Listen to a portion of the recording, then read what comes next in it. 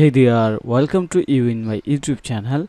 In this tutorials, I am going to show you how to remove CAPTCHA from email sign up form. So if you wanted to make the checkout process very fast and uh, don't want to spend extra time of your customer, then you can continue this video.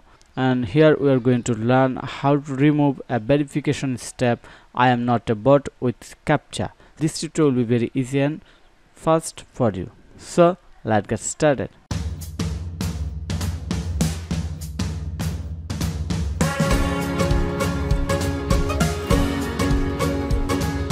To do this, first of all, I'm going to log in my Shopify admin panel.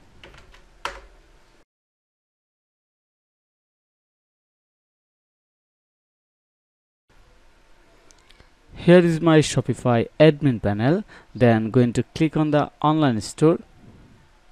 Then preference. Then scroll down.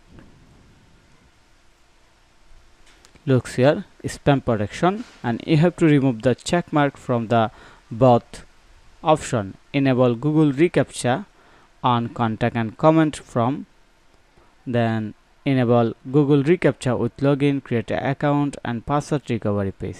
Just remove the check mark and click on the save.